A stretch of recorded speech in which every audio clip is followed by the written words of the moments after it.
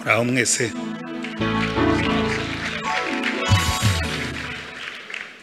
bishop hano habaye iki Ah, ndashima imana cyane ku bantu bangana batya.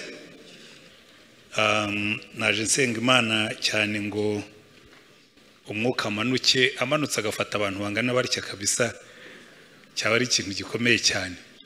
Haleluya reka rero nihute ubwo hari igitaramo ah, nganira na bishop naramubajije nti se mushaka ko nzigisha ku kigiye nkunze kubaza abapasitori iyo ngiye kwigisha ahantu hari ibintu njya nanga? Hari abantu bakubwira ngo ngo umwuka azakuyobore? Nkawe ntoya ngewe kuva imana yaraguteruye ikakugira umuyobozi w'itorero ubwo ni wowe umwuka azajya abwira ibyo ukora hanyuma ngewe mba umugaragu wawe nze nkora ibyo wambwiye. Kuko buriya hari igihe umuntu akubwira ngo ngo umwuka yambwiye ngo nze vuga ibyo kandi rwose ukuvuga ko atajya abivuga. Ariko hariho n'igihe umuntu aba yagize ubunebwe bwo gutegura akitegurira ibyo akunda akaba ari byo yigisha abantu kuko ari byo akunda. Ariko ibyo bishop yamuhaye kwigisha yarambwiye ngo nzigishe kuri promise. Yabyanditse mu cyongereza. Promise of the holy spirit. Isezerano ry'umwuka wera. Haleluya ndagira ngo tubanze dusome ijambo ry'imana kuko iyo umuntu ashaka kwigisha neza nanone ni ho ahera. Kuko iyo utangiye uvuga rimwe na rimwe wibagirwa gukora ibintu uko wagombaga kubikora. Turasoma muri yoweri Ah, abafite izi bibiliya z'ikinyarwanda zijya zitandukana n'iz'icyongereza abafite iz'ikinyarwanda yoweri turasoma mu bice bitatu kuko mu z'icyongereza n'izindi biba yoweri ibice bibiri ah, guhera ku murongo wa makumyabiri n'umunani. Ariko muri izi z'ikinyarwanda ni ibice bitatu kuva ku murongo wa mbere. Haravuga ngo hanyuma y'ibyo nzasuka umwuka wanjye ku bantu bose. Abahungu banyu n'abakobwa banyu bazahanura abakambwe banyu bazarota n'abasore banyu bazerekwa ndetse n'abagaragu banjye n'abaja banjye nzabasukira ku mwuka wanjye muri iyo minsi. Nzashyira amahano mu ijuru no mu isi amaraso n'umuriro n'umwotsi ucumba. Izuba rizahinduka umwijima n'ukwezi kuzahinduka amaraso uwo munsi mukuru w'uwiteka uteye ubwoba utaraza. Kandi umuntu wese uzambaza izina ry'uwiteka azakizwa kuko isiyoni n'i yerusalemu hazaba abarokotse nk'uko uwiteka yabivuze kandi mu barokotse hazabamo abo uwiteka ahamagara. Haleluya. Iri ni isezerano ry'umwuka wera ariko reka dusoma andi magambo. Nabwiye ko nyasoma nk'uko bishop yayampaye kandi niyo ndi bwigisheho yohana ubutumwa bwiza bwa yohana ibice cumi na bine. Ah, turava ku murongo wa cumi na gatanu. Aravuga ngo ni mu nkunda muzitondera amategeko yanjye nanjye nzasaba data nawe azabaha undi mufasha wo kubana namwe ibihe byose ni we mwuka w'ukuri. Ntibishoboka ko ab'isi bamuhabwa kuko batamurora kandi batamuzi ariko mwebweho muramuzi ni kuko abana namwe kandi azaba muri mwe.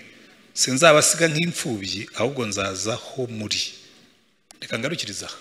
Haleluya ndagira ngo murebe muri ibi bice byose twasomye ikintu cya mbere nshaka kuvugaho ni uko umwuka wera ni we nabuze ijambo nshobora gukoresha. Mu kinyarwanda nararibuze uzaribona azarimbwire ni we perisone ubihinduye mu kinyarwanda avuga ngo ni we muntu ariko perisone si umuntu.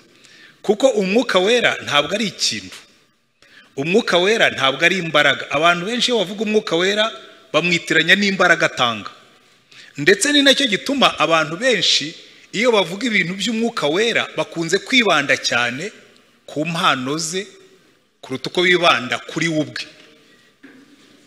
Hareruya abakirisito benshi iyo bavuga n'iyo bavuga ibijyanye n'umwuka wera bakunze kwibanda cyane ku mbaraga z'umwuka n'ubutware bw'umwuka n'ibitangaza by'umwuka ariko ntabwo ari kenshi bibanda kuri we ubwe. Reka mbakoreshereze ikigereranyo kibafasha kubyumva. Uko abakirisito bafata umwuka wera ni nk'uko abakobwa bamwe na bamwe muri uyu mujyi bafata abahungu. Hari abakobwa bakora risaci ku muhungu. Bakabanza bakamenya ikofi ye uko ingana. Bakamenya niba afite inzu cyangwa afite imodoka. Mbese bakabanza bakamenya ibyo afite akaba ari byo bakunda aho gukunda nyirabyo. N'abakirisito benshi ku mwuka wera bakunda impano z'umwuka bakunda ibitangaza by'umwuka ariko ntabwo ujya wumva bavuga ngo ngewe nezezwa n'umwuka wera as a person. N'imana burya kenshi yabwiye abantu ngo mujye mushaka mu maso hanjye.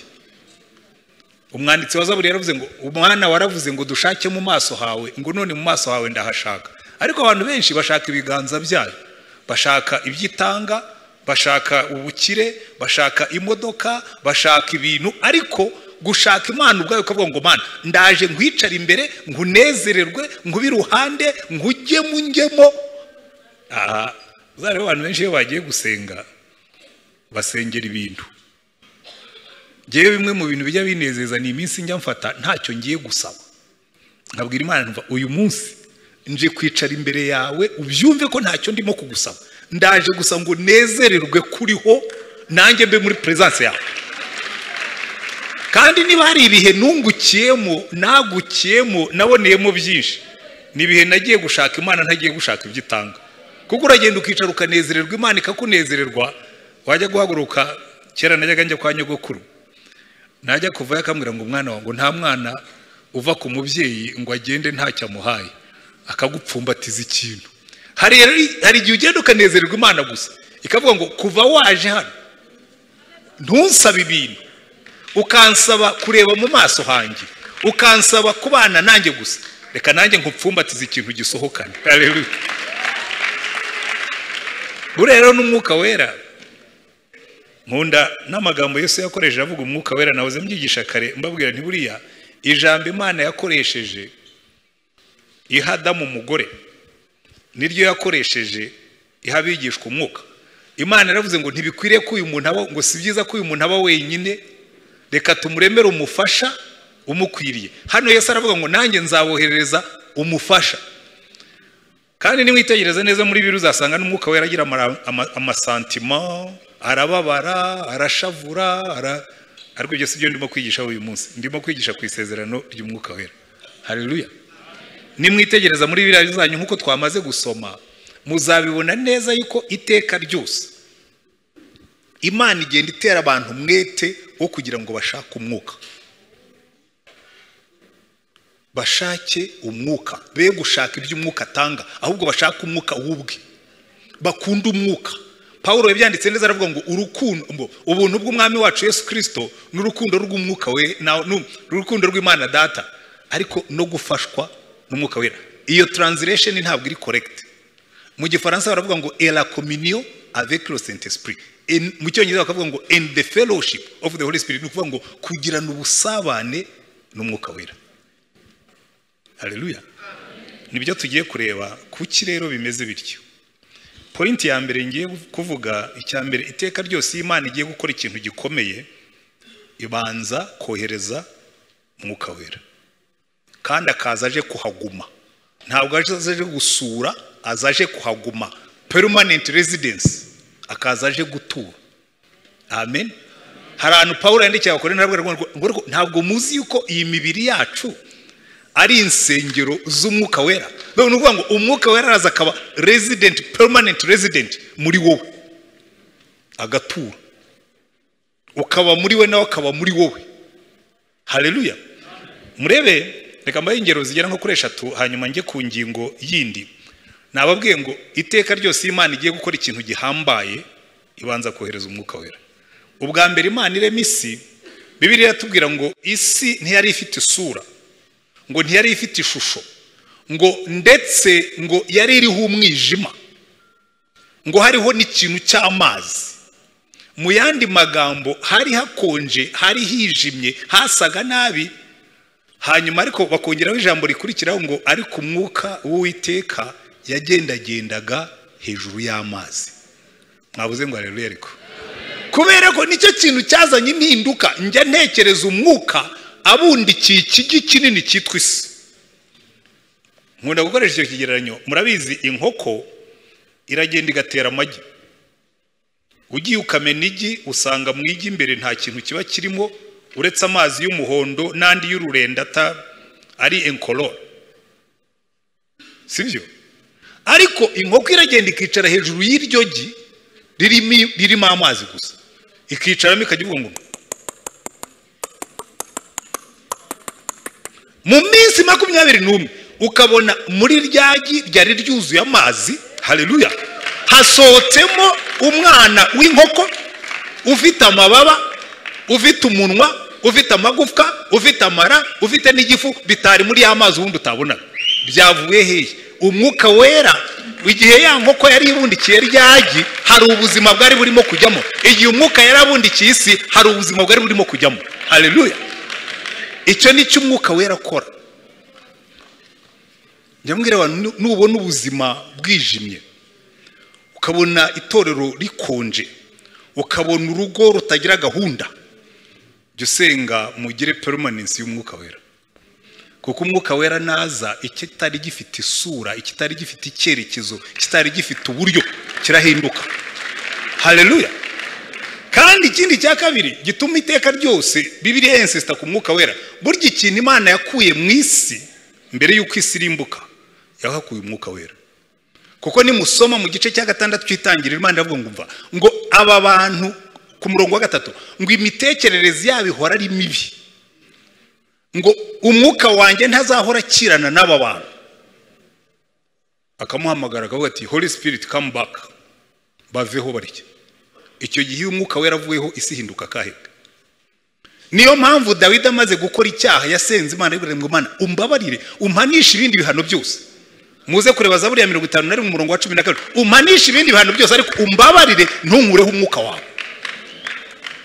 Kuko yari abizi neza yuko umwuka wera namuvaho ya feva yose yajyaga agira za mbaraga yajyaga agira bwa buhanzi yajyaga agira kwa kunesha yajyaga agira byose birahita bigenda. Kuko ibanga ryari mu mwuka wera. Hareruya abayobozi bose muzabona muri bibiliya. Abo imana yahamagaye. Ikintu cya mbere imana ikora ku muyobozi.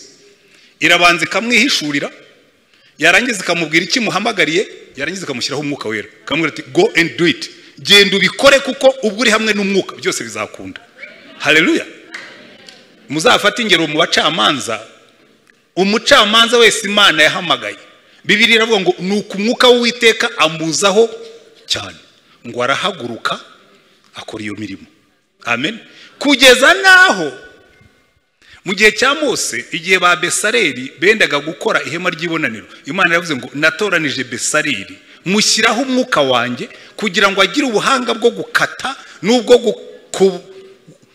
kubaza n'ubwo gucura ngo kugira ngo azaremere ihema ry'ibonaniro. Nta muntu n'umwe wakoreraga imana itabanje kumushyiraho umwuka wayo. N'abahanuzi petero arandika ngo bavugaga babwirijwe n'umwuka. Hareruya ariko ikibazo dufite muri iyi minsi murakizi mu itorero icyo ngicyo twa niyo tuvuze ku mwuka wera ni nk'amatsiko. Ni nka filime buriya impamvu isezerano ry'umwuka wera imana yagiye irigarukaho. Ndaje aba ari na byo mvuga niyo ngingo ya gatatu. Buriya mu bantu bigishije ku mwuka wera uwa mbere ni yesu. Yesu yagarutse ku mwuka wera inshuro nyinshi. Undi wamuvuzeho cyane ni paul kandi nimwitegereza abo bantu babiri. Yesu yagendeye mu mbaraga z'umwuka wera paul yagendeye mu mbaraga kuruta n'abandi. Burya mu bantu mu isezerano rishya banavugwa cyane uwa mbere ni yesu birumvikana kuko na ba paul ni we bavugaga. Nawe natwe ni we tugomba kuvuga. Ni nawe ubatiza mu mwuka wera. Ariko paul yafashe ubutumwa bwiza abukura ku nkengero za isirayeli arabutwara aburenza uburayi bwose abugeza ku ndunduro yabwo muri sipaniya. Muri bukayandikira abaroma aravuga ati ubutaha nzanyura iwanyu njya muri sipaniya. Bamwe bemeza ko yagiyeyo abandi bakavuga ati wenda ashobora kuba ataragiye. Ariko ikigaragara ni uko nibura yageze i roma. Ba petero bagiyeyo ba- banyura mu nzira yanyuzemo mbere ya. Hareruya kubera iki? Kubera izo mbaraga z'umwuka. Asengera abefeso akavuga ngo njya mbasengera cyane. Njya mbibwira abakirisito n'abo twa duterana iwacu njya mbabwira ntigiye iyo nsengera abakirisito nkunda gufata aya masengesho paul yasengeragaho. Ati ndabasengera cyane. Ati mbashimira imana mu befesi ibice bibiri kuva ku murongo wa cumi na gatanu. Ngo njya mbashimira imana cyane ngo nkabasabira uko nsenze ngo imana ibahe umwuka w'ubwenge n'uwo guhishurirwa. Ngo mumenye neza ngo muyimenye ngo mumenye n'ibyiza n'ubwiza bw'ibyo yabikiye abera ngo ariko ngo mumenye cyane imbaraga zisumba ko dushobora kumenya? Imbaraga ubwinshi bw'imbaraga izaha twebwe abizeye. Ngo ari zo za zindi zazuye kirisito mu bapfuye zimuzamurayo zimwicaza iburyo bw'imana. Kintu ariko mujye mugitekereza. Nanjye ndabasengera ngo imana ibahe uwo mwuka w'ubwenge no guhishurirwa. Kuko umunsi abakirisito bazabyumva bakamenya ubwinshi bw'izo mbaraga zakoreye muri kirisito ubwo yamuzuraga mu bapfuye. Ariko murabyumva yamanutse atya agera ikuzimu ho ikuzimu habaho. Zimuzamurayo babona ararenze. Yicara iburyo bw'imana data. Imana ikavuga ngo izo mbaraga. Nizo zikorera muri twebwe abizera. Haleluya ariko ikibazo kirimo murakizi abakirisito benshi bakunda kubyumva. Gusa bakagarukiraho. Hari umugabo muri ba bandi bita ba finambirisite ba finambirisite ni abantu bagenda ku tugozi dutendetse nko hejuru kuri kiriya gisenge. Akazamukayo afite ahantu ari bwurire nk'ariya hirya bakamubona agenda kuri ako kagozi ni agatsinga kagendaho gutya akagera hakurya akongera agahindukira agakata. Uwo mufinambirisite rero ngo yempuresionaga abantu akagenda kuri ako kagozi akirukankaho akagenda yagera hirya akirukankaho akagaruka hanyuma agiye kurangiza ashyiraho ingorofani. Arayicunga kuri ako gatsinga kuri ako kawaya. Arayicunga ayigeza hakurya arahindukira arongera arayicunga abwira abantu ati "Mwa- muremera yuko nshobora gucunga ino ngorofani kuri aka kawaya bati twabibonye ubikora. Muremera ko nshobora gushyiramo n'umuntu nkamucunga bati cyane.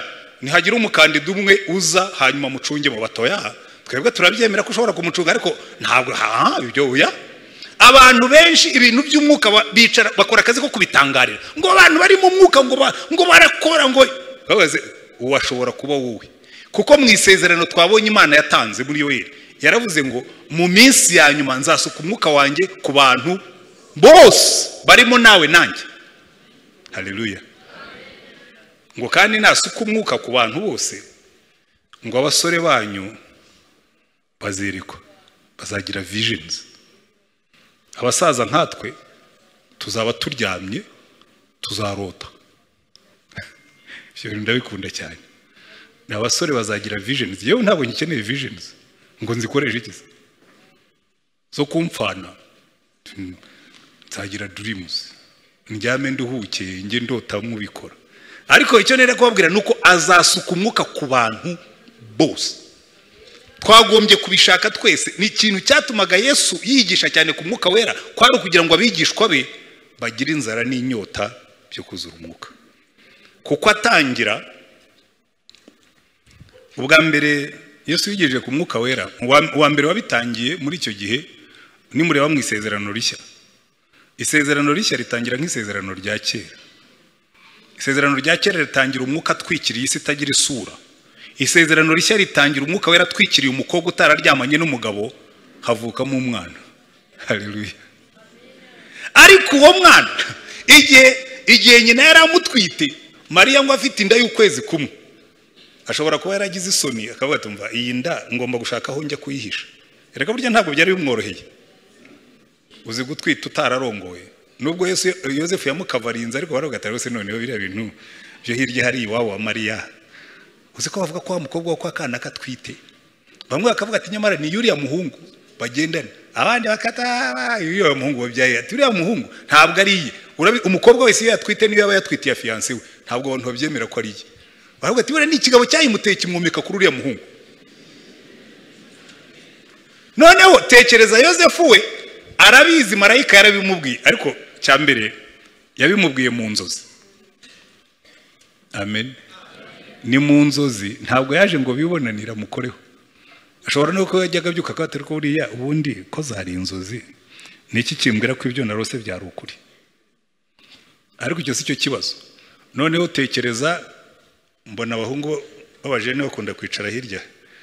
Mfatira umwe muri aba bahungu abone fiyanse waratwite azabwire pasita nyogwa bishopu buriya rero fiyanse wanjye aratwite ariko ntabwo ari inda y'undi muhungu ni umwuka wera wamutwikiriye.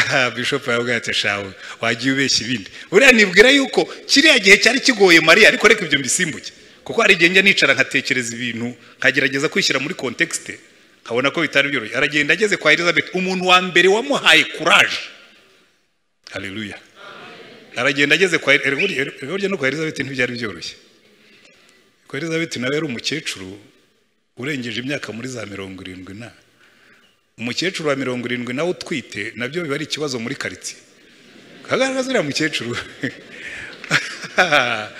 Uriya mukecuru wo kwa zekariya yarwaye ikibyimba mu nda none arimo arabeshya abantu ngo afite umwana. Ariko ikintu cyiza kirimo ngo mariya yatungutse mu muryango avuze ati abo kwa zakariya muri aho? Yohana byumva kare aravuga ati iryo jwi rivuze rije ritwaye undi mwana uri sipesho ngo yohana akubita kiribite mu nda. Elizabeth yuzura umwuka arahanura. Rero kubwira ngo umwuka wera tumubona arimo gukora mu buryo buhambaye hanyuma yohana amaze kuvuka yuzura umwuka. Njya mbyigisha abapasitori nk'abantu nushaka ko itorero ryuzura abantu niyo mpamvu natangiye mbaza bishoboye nubwo noneho habaye iki? Nushaka ko itorero ryuzura abantu uzasenge ryuzura umwuka. Yohana umubatiza yuzuye umwuka yigira mu butayu ntiyigeze avuza vuvuzera ntiyigeze amanika icyapa abantu bose barahurura. Kuva i yerusalemu kugeza barahurura baza kureba uwo muntu urimo kubwiriza mu butayu kandi nta nubwo yari yambaye neza bihambaye. Ngo yambaraga umwambaro w'ingamiya ukenyeje umushumi uruhu rw'ingamiya umuntu urya ubuhura n'abantu bari kwibwira ko ari umusazi. N'inzige. Umuntu utungwa n'ubuhura n'inzige bigakurura abantu b'abahanga abanditsi n'abafarisayo ndetse bakajya no kubatizwa. Kuko yari yuzuye umwuka. Hareruya ariko atangira kubwiriza aravuga tumva ngewe ndimo ndababatiza mu mazi. Umuntu wa mbere watangiye kwamamaza umwuka wera yohana umubatiza akavuga ngo ndimo ndababatiriza mu mazi ariko nguyu we uje. Azababatirisha umwuka n'umuriro. Hareruya mu yandi magambo ndimo ndabafata nkabashyira mu mazi mukavamo mukonje mutose. Ariko uyu we naza azababatiza mu mwuka muhaguruke mwuzuye imbaraga n'umuriro. Hareruya iyo ni pubulisite nziza. Ariko si uno munsi niyo twayivuga gatanu. Njya mbwira abantu nkabwira ikibazo dufite muri ino myaka turimo twarize. Twarize dufite lisanse dufite masitazi dufite dogitora nubona umuntu ufite dogitora wuzuye umwuka uzashima imana ufate n'umunsi w'amasengesho. Cyane cyane iyo afite dogitora muri teoloji ibyo byo biba ari ibindi. Kuko umuntu amara kubona dogitora akibwira ko byose abizi. Azi gufata amagambo akayasatura nk'uwasi inkwi akakubwira ati jambo mu kigiriki rigizwe n'amagambo abiri ati uruhande rumwe ni makoro ati ahandi ni tumiya akaba ararisatuye wowe udashobora no gusubira mu byo avuze akakwempuresiyona akagutangaza kuko yasomye ibitabo byinshi bimwe muri byo byari binini ibindi byari bitoya. Hanyuma kumva ari satisfayidi kubera ko yabempuresiyoniye ntabwo ari cyo Yesu yadutumye gukora. Nushaka guhindura abantu ujye wuzura umwuka. Kuko ntabwo wowe niyo wabwiriza gatanu yohana yabivuze neza aravuga ati igihe ndimo ndababatiza mugasohoka mu mazi mukonje. Ariko uyu we naza azamanura umwuka n'umuriro muzavamo mushyushye muhinduke. Hareruya na yesu ubwe yarabyivugiye abwira abigishwa be way ndashaka gukosora akantu abantu bajya bavuga igihe ntemeranya nabo. Abantu barakubwira ngo petero ntabwo yize. Ngo na ba yohana ntabwo bari barize ninde wabibabwiye? Petero yari afite bacaraza muri digiri yari afite bacarazi digiri ivuye mu ishuri risumba andi mashuri yose imyaka itatu bamaranye na yesu bagendana umunsi ku munsi. Ubundi se bacarazi tuyimaramo imyaka ingahe mu ishuri? Tumara imyaka itatu twiga muzanshakire ishuri mwizemo. Porofesa akakwigisha ukuntu umuntu agenda ku mazi. Uti twebwe twagiye kwiga muri piyase cyangwa twize muri akite cyangwa muri eyasese porofesa araza twigisha uko bagenda ku mazi. Petero we yarabyize. We yagenze ku mazi. Muzambwire iryo shuri aho mwabyize mwebwe. Aha ngo petero ntabwo yize ngo yari umuswa. Aho yavuye ni ukuroba amafi. Nanjye navuye mu baragira inka twese dufite aho twavuye. Bamwe mwavuye mu mibande y'imisozi abandi bavuye mu mu nkengero zayo buri muntu wese agira aho ava. Ba petero bavuye mu mafi ariko bajya mu ishuri rya teoloji bigishwa n'umwarimu usumba abandi barimu bose bigishwa n'umwarimu wuzuye umwuka arabasengera buzura umwuka arangije anabakorera revision. Iminsi mirongo ine ngo basubiramo kuva kuri mose na zaburi n'abahanuzi bose ngo abigishe ibyanditswe byera byose. Arabanza agenzura ko babyumvise arababwira ati ibi ni byo nababwiraga. Izi nizo nyigisho muzigisha kandi zose. Mujye kubwira abantu ko muri jyewe ariho abantu bazabonera agakiza. Ngo petero ntiyize. Ngewe nyavuga ntabwo iyo mba naravutse mu gihe cye. Nkigira ku mw- ku mwigisha usumba abigisha nkabwira ngo ubigenza ute? Uzi ko bajyaga biga bakirukana umudayimoni yabananira bakabwira ati ariko kuki twamwirukanye bikatunanira? Ni bangahe batunaniye mu madayimoni ari hano hanze? Amadayimoni yaratunaniye ariko ntidufite uwo tubaza. Uzi impamvu? Kubera ko tumeze nk'imfubyi badusigiye umufasha kuko hariya mu magambo twasomye yesu yarabwiye ngo uyu nguyu naza. Hareruya ngo nzaboherereza umufasha wo kubana namwe ibihe byose ni we mwuka w'ukuri. Uyu nguyu ngo azabigisha. Ngo ndetse azaza aho muri agumane namwe. Ariko ntabwo tujya tumubaza. Ibintu biradushobera mu itorero byaba byanze tukajya muri rgb bakabikemura nka rgb nyine. Ariko wese yadusigiye twagombaga kugisha inama tumushyira ku ruhande. Tukajya gushaka abafite phd muri administration.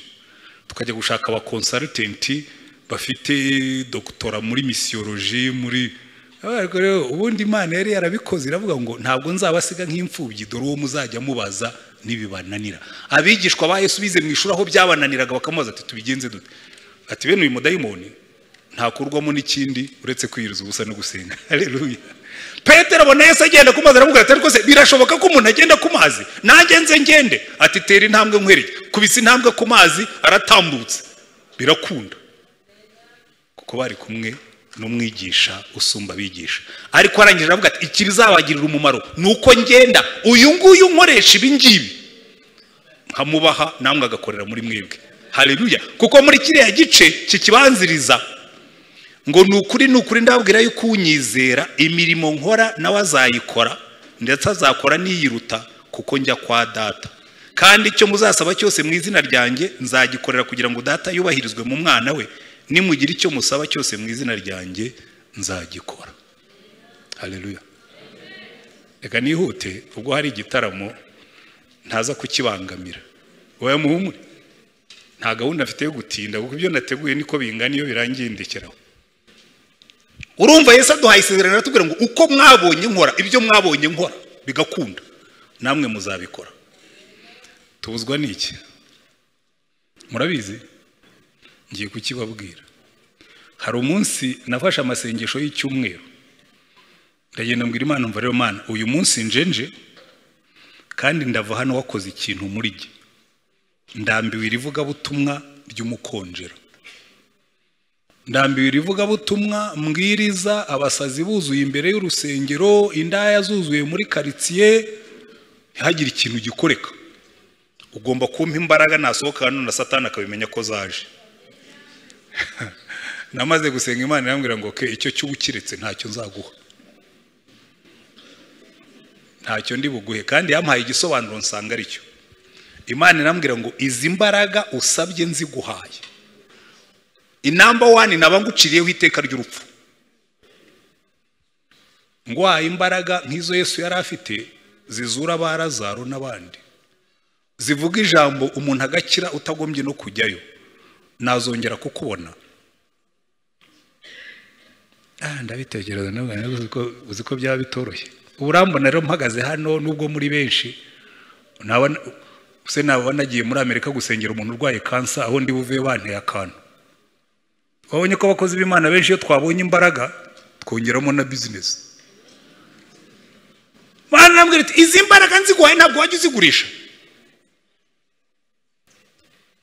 Ndabitekereza ndavuga ntisimbize kuko nanjye siniyizi neza ntabwo reka nkubwire burya ntabwo uramenya icyo wakora baziguhaye kuko ntiwigeze uzigira. Abantu benshi baravuga ngo ngewe nca bugufi rero ngo ntabwo nagira gute. Bazakuzamureho gatoya tuzakubona. Hari abantu nzi benshi bacaga bugufi babahaye agatayitoro gato yiswe bishopu wajya ujya no kumusuhuza. Kandi uwo bishopu nta nubwo arazura n'inkoko. Ngaho tekereza rero mvuga ijambo rimwe abapfuye bakazuka. Nanjye sinajya nikoraho. Imana irambwira ngo uranyizeza ko izi mbaraga nziguhaye utazonona. Burya ikizakubwira ko yesu yari imana ntimuzarebe ibyo yakoze. Muzarebe ibyo atakoze. Umuntu washoboraga kuvura abarwayi avuze ijambo rimwe gusa. Ntakore faith clinic. Ngo ashyireho sokereteri na ko ntabure bajya baza batanga amafaranga bajya gukora umurimo naza avuga ijambo rimwe abiyandikishije bose bakire. Ntayo yigeze akora. Umuntu washoboraga gutubura imigati iryoshye ntakore faith bekari wabiha umwe muri twebwe ngo murebe amahano twakora. Amaduka menshi yafunga. Kuko imbaraga twazikoresha tukagenda tugatoranya parufe nziza ihumura neza tukateraho izina ryanjye hasigaye nka muritipuriya nkajya nza nkasenga gusa nkacishaho ibiganza hasigaye bagasigara bacuruza nanjye nkajya gukora umurimo w'imana. Niba mbeshya muzagenzure muzabona ibyo imana yambwiraga ariko yarabimbwiye ndabisobanukirwa. Irambwira ngo kandi n'iyo ibyo utabikora naba nguciriyeho urubanza rwo gupfa mu mubiri. Ngo uzi ko burya na yesu yajyaga ahunga abantu kubera imbaraga zamubagamo? Barazaga bakamwikubitaho. Imana irambwira ngo ntabwo wazongera gusinzira ndamutse nziguhaye. Nta nubwo wazongera kurya nta nubwo wazongera kuruhuka. Mu cyumweru kimwe baba bakujyanye i rusorobo. Abana ariko uzi ko ari byo. N'ubu iyo ndebye abaza kundeba kandi ntawe ndasengera ngo akire uzaze ku biro byanjye urebe umurongo uba uhatonze wagira ngo ni kwa muganga kubera akarimi gusa. Noneho ngeraho imana ishyizemo n'igitangaza. buriya hari ibintu imana itadukorera. Ariko mwihangane ugatera bambwira ngo ikindi uri umupasitori nubwo mufite urusengero runini. Ubundi nguhaye izi mbaraga kigali yose ikaza ikageza guteranira i remera mu giporoso. Wabicaza he? Ko naba nashenga itorero ryanjye? Usanga ni byo. Si byo se? Si abantu ngo bishop ubwira ngo abantu buzuyemo aha bose ni aba hano. Sinzi icyabazanye kirahari ariko ndagikeka.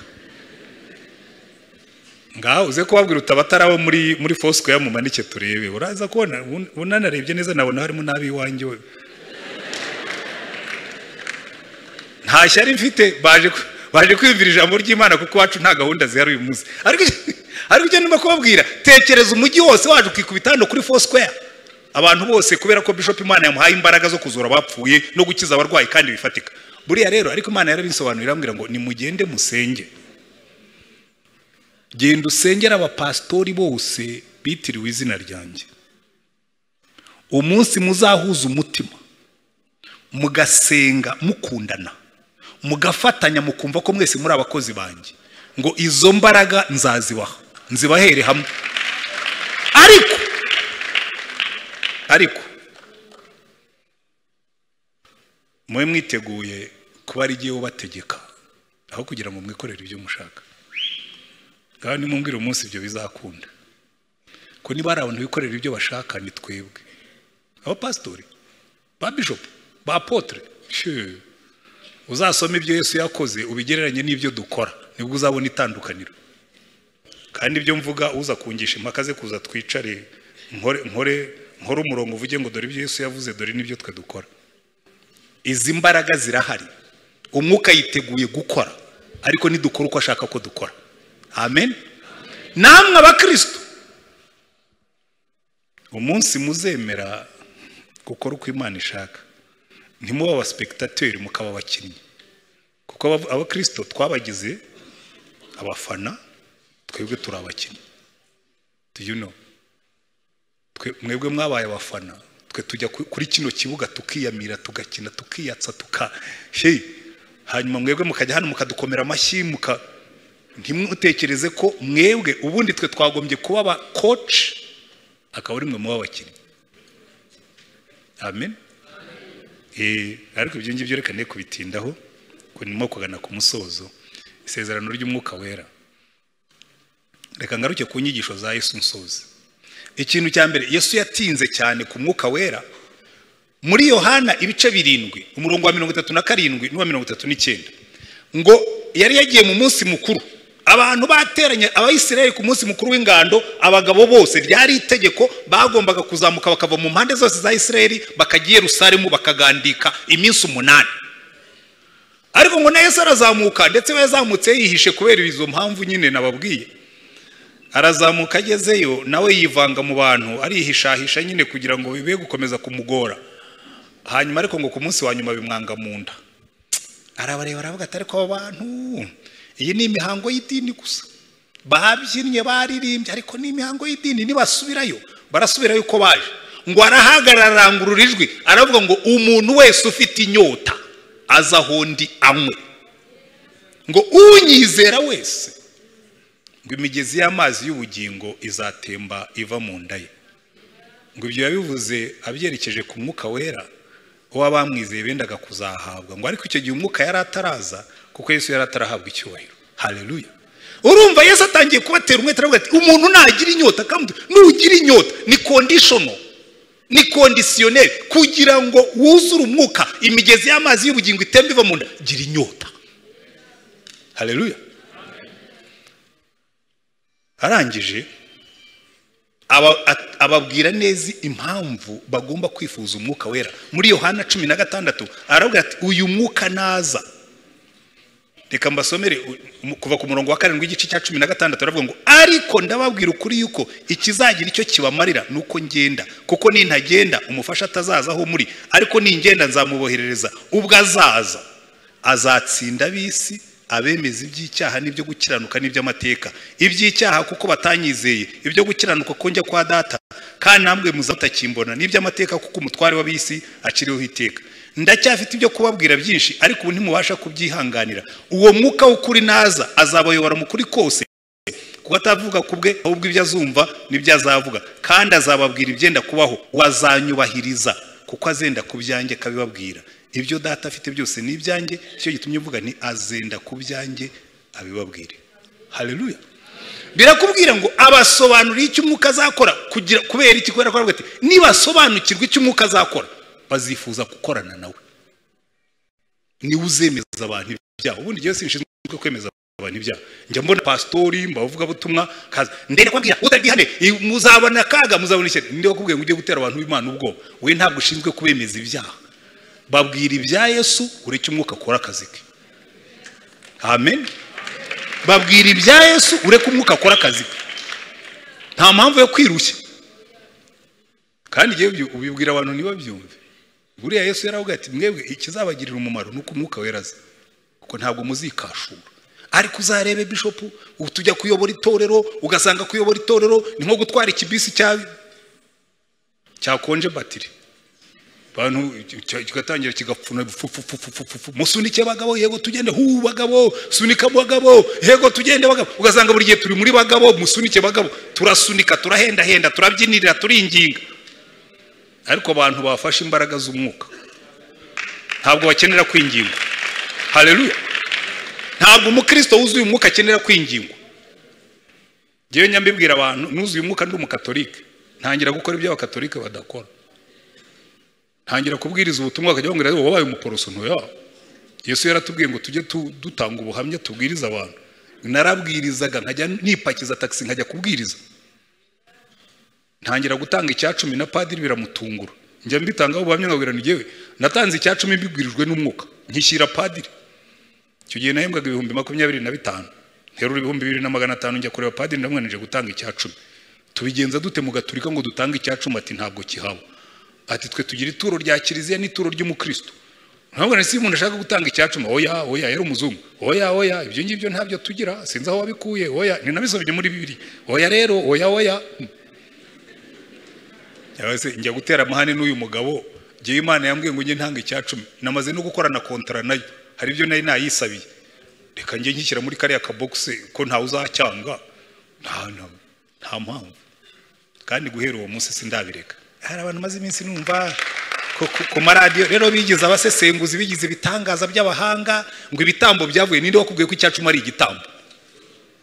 Cya cumi n'ishimwe ry'imana yatugiriye neza ntabwo ari igitambo. Ninde wigeze ahabwa n'umutware nta- ntazane indabukirano eee ngo twebwe ninde? Umva reka ariko ni kubyigishaho ntibiri mu nyigisho yanjye. Nababwiraga ibyo umwuka yakoze maze kumwakira. Iyo umaze kwakira umwuka pasitori aroroherwa.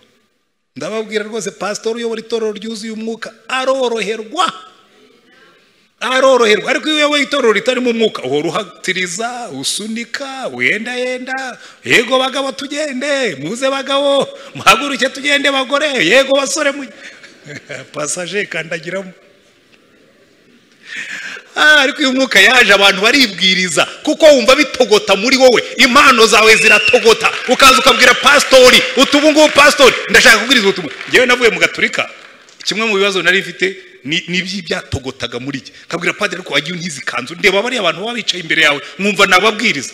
Oya oya hari imbere hahagarara uwarobanuwe wasizwe amavuta oya oya mwabwe. Ariko se padiri wa- wazantije ikanzu rimwe nkanyeganyeza mwumva ko oya oya niba ushaka kunyeganyeza genda ujye mu waporoso aha ndabona nugize neza ndagiye.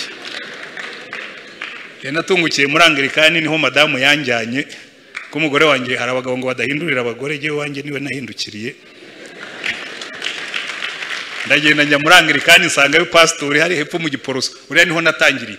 Ndaza ndabwira pasitori ni pasitori niko nkunda gukora umurimo w'imana. Ati ukunda iki? Nkunda gusenga. Ati ibyo ndabigushinze. Ati ikindi ukunda ni iki? Nkunda kubwiriza. Ati ibyo na byo bifate. Kariya gatuti ndakaguhariye. Ndavuga ati kabisa ni byo birampagije. Eh, kandi twabonye impinduka. Eh, kuko iyo iyo wuzuye umwuka ntabwo baguhendahenda. Iyo wuzuye umwuka uribwiriza. Iyo wuzuye umwuka urahaguruka. Impano ntizituma usinzira. Uba wumva bitogota muri wowe kuko iyo umuriro waje umuriro uragushyushya ukajya wumva bitogota. Ukumva urashaka gukora ukumva urashaka kuvuga ukumva urashaka gusenga ukumva urashaka kuririmba kuko wuzuye umwuka. Buriya icyatumaga yesu abitinda we aravuga ati ikizabahindurira ibintu ni uko mwuzura umwuka. Hareruya hanyuma arangije agiye gusubira mu ijoro ngo arabanza abasobanurira byose abigisha teoloji abaha samari ya teoloji yose.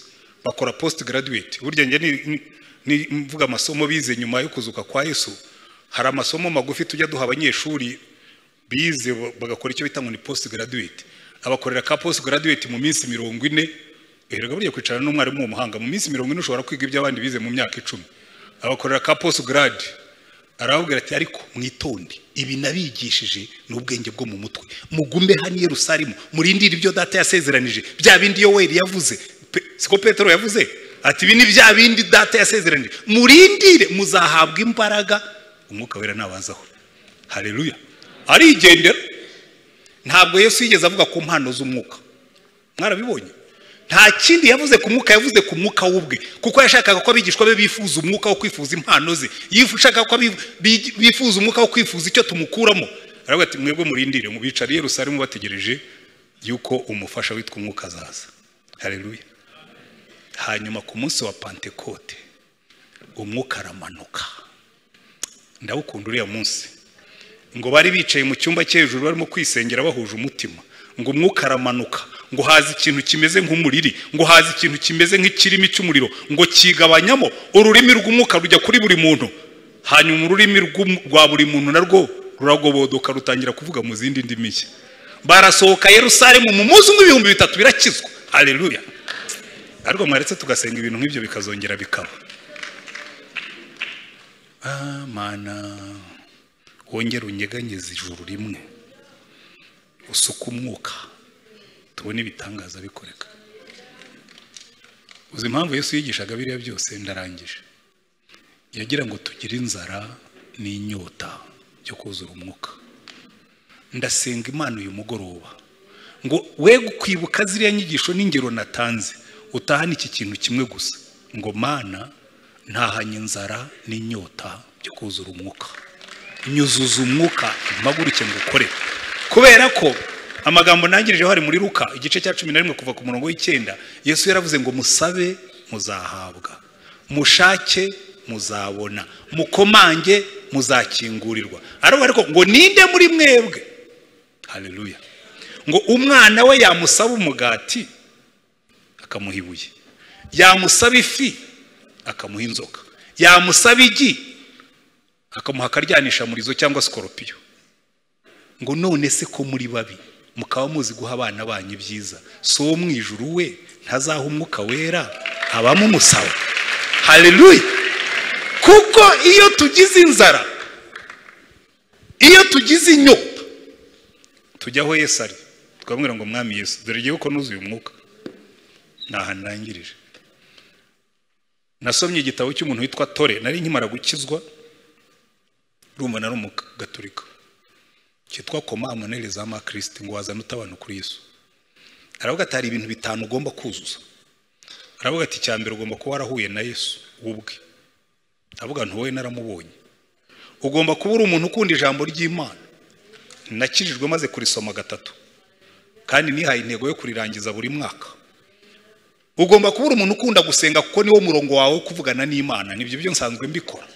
Ugomba kuba ukunda abanyabyaha. Nijye nifuza ko bakizwa. Cyanyuma ugomba kuba wuzuye umwuka.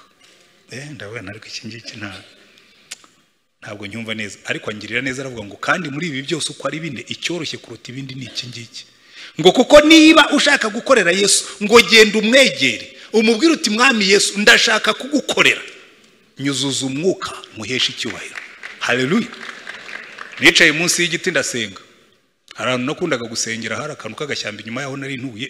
Ndicara ndasenga ndasenga ndasenga ngiye kumva numva ibintu bya- byahindutse numva ntangiye kuvuga ibintu ntazi ndavuga nti nuko abantu basara rero ubu ngubu ibisazi byafashe biraje ndahaguruka ndekeraho ndagenda nsubiraho mu rugo nkosora amakaye y'abanyeshuri nari mfite ariko nkumva mu bwonko meze neza nkumva ndi fureshe kabisa natangira kubumbura umunwa najya gusenga nkumva biti bla bla bla bla si ibintu noneho ko byanze noneho. None ejo nazajya imbere y'abanyeshuri ibintu bikagaruka.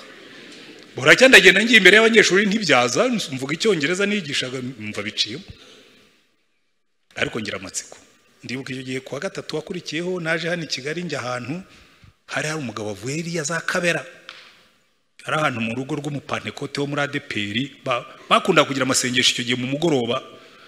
Ndagenda niyicarirayo niyo nanyuraga ahantu bavuga ubutumwa byara- byarandyoheraga cyane. Ndagenda yicara umugabo aravuga ati uyu munsi ndabwiriza ndigisha ku kintu cyitwa kuzura umwuka. Abantu bamwe iyo buzuye umwuka bagira ngo barimo barasara. Ntikabaye ugomba kuba ari byo byambaye nikantega amatwi. Ndicara arigisha arigisha arangira aravuga ati rero muhaguruke dusenge. Ati kandi uri bwumve avuga ibintu atumva yikomereze nta kibazo ari we yagize naraduduye ndavuga ndadudura ndavuga ndadudura ndavuga. Hanyuma na yo ndavuga ntubu rero karabaye. Ngiye gukorera yesu kandi n'uno munsi sindasubira inyuma. Icyo nize icyo nize ni ugukundana n'umwuka. Ngewe ngira abafasha babiri ariko sindi umugabo ufite abafasha abagore benshi. Ngira umugore umwe n'abafasha babiri. Umufasha umwe ni umugore imana yampaye. Umufasha wa kabiri ni umwuka wera. Ko yesu yaravuze ngo nzawohereza umufasha? Ubwo ndabizi bamwe bari batangiye kuvuga ati he bati wa mugabo araje. Reka da imana yaduhaye abafasha yampaye umugore imana n'umwuka wera. Bombi bitwa abafasha. Abo rero bombi ndabakunda. Ndabakunda pe. Kandi koko ni abafasha. Muhaguruke dusenge imana. Haramagashika santaramaragarashakasiya siramagashika senterera namagashaka senta isiramagashika sente siramagashika senterera namagashaka siya turagushimye reka dusenge imana kandi buri muntu wese niyisengere. Niyo waba waruzuye umwuka kera ntabwo umuntu yuzura umwuka ngo bibe birangiye. Umugore wanjye twatangiye kuvugana tukiri abafiyanse ariko ubu ngubu ahubwo mbura umwanya wo kumuvugisha. Kuko uko tumarana igihe ibyo kumubwira biba byinshi kurutaho. N'umwuka wera. Uko ndushaho kugendana nawe hari igihe ngo umwuka wera. Wareka nkakubwira ukuntu nezererwa uru rugendo twagiranye. Nkagushimira. Kuko abantu baraza bakagushimira pasita wigije turafashwa. Nanjye nkagira umwuka wera ni rero ujye wihangana. Ukora umurimo barangiza bakabinyitirira nabwiye abantu nasuraga mu minsi ishize muri amerika ngo pasita turagukunda. N'ubu ninjira hariya hari umwana wambwiye ati pasita turagukunda. Nshaka kubwira nti buriya ni umwuka mukunda ntabwo ari jyewe. Usabwira ngo nuzuye amadayimoni mwankunda. Ashwi nimungirire neza muzamure inyota n'inzara. Ubwira imana ngo mbabarira. Nintagira n'ikindi nkura hano. Ntahaniye inzara n'inyota byo kuzura umwuka. Wimbwira ngo ko ntari umuvugabutumwa. Ibisigaye imana izabyikorera izakubwira iki kujurije umwuka? Uhaguruke ugikore amen. Sinzi icyo uri busengere. Icyakora icyo musabye gusengera ni kimwe. Senga imana ngo ikuzuze umwuka wera. Turagushimye mwami wacu yesu kirisito umugaragu wawe yohana yaravuze ngo waratubatirisha amazi ngo ariko we nuza uzabatirisha umwuka wera.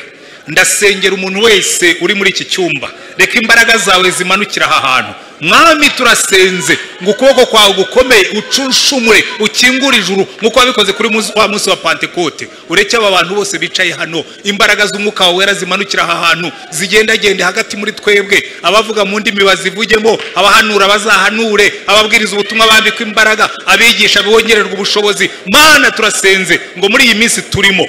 Uhembure umurimo wawe. Suka umwuka wera. Umwuka wera ni we twaha kugira ngo uzajye ukorana natwe. Niwe twaha kugira ngo uzajye utura muri twebwe. Niwe twaha kugira ngo uzajye ukora umurimo. Turakwinginga turagusaba umanukire aha hantu.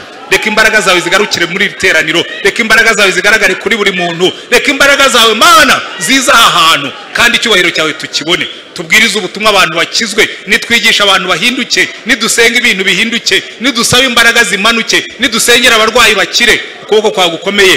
Gukora ibitangaza n'ibimenyetso hagati muri twe mana umva gusenga dusengeye aha hantu. Icyifuzo cy'iki cyumweru manura imbaraga zawe manura umuriro wawe uhembure umurimo wawe uhembure itorero kandi unezeze ubwoko bwawe. Mu izina rya mwami wacu yesu kirisito amen. Imana ibahe umugisha.